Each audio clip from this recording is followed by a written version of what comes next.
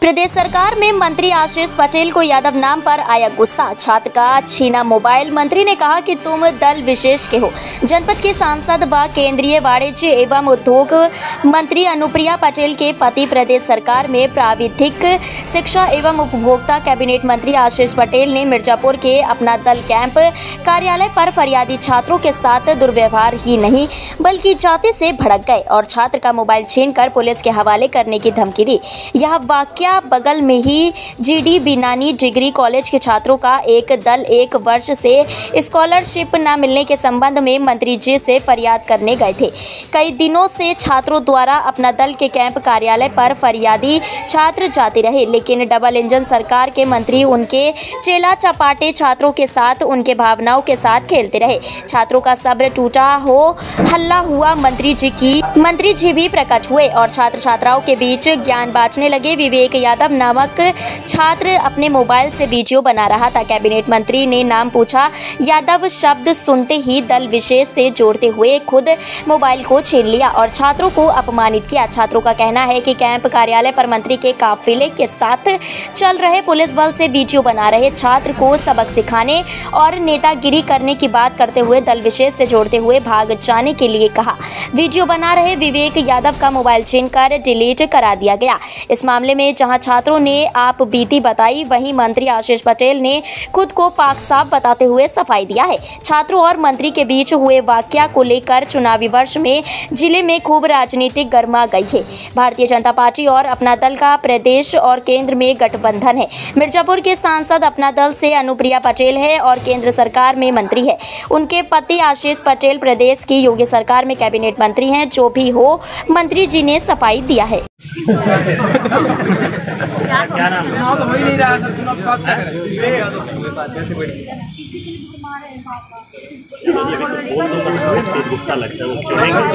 बात जाएँगे आप?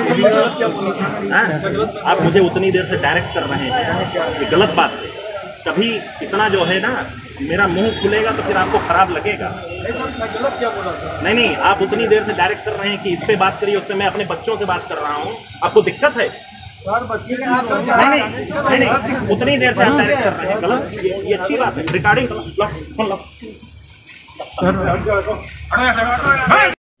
लड़के की मोबाइल छीनी बात आ रही। क्या है मामला आप तो इतने वर्षों से हम लोगों को जानते हैं।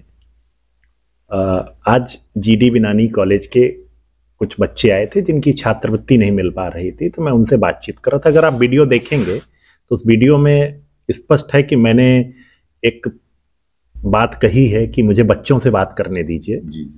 तो जब एक पार्टी विशेष से जुड़ा मुझे बताने की ज़रूरत नहीं है किस पार्टी से होंगे लोग जो मिर्जापुर के विकास से अनुप्रिया जी की बढ़ती लोकप्रियता से परेशान लोग हैं तो उस पार्टी से जुड़ा एक व्यक्ति वहाँ पर खड़ा था और वो बार बार अपने एजेंडे पर बात करने की कोशिश कर रहा था जो उसकी पार्टी का एजेंडा है।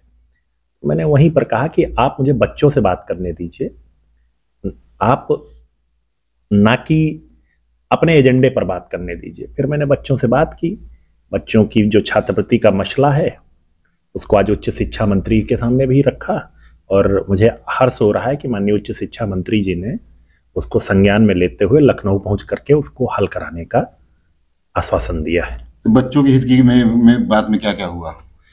उनकी जो छात्रवृत्ति की समस्या थी उस छात्रवृत्ति की समस्या को माननीय उच्च शिक्षा मंत्री जी ने आज आश्वस्त किया है कि लखनऊ पहुँच करके हम उसको हल करने का प्रयास करेंगे। धन्यवाद।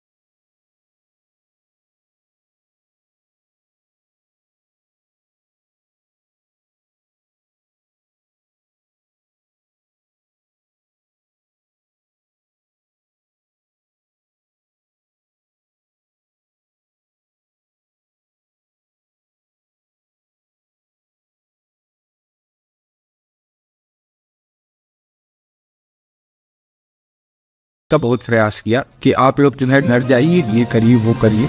इस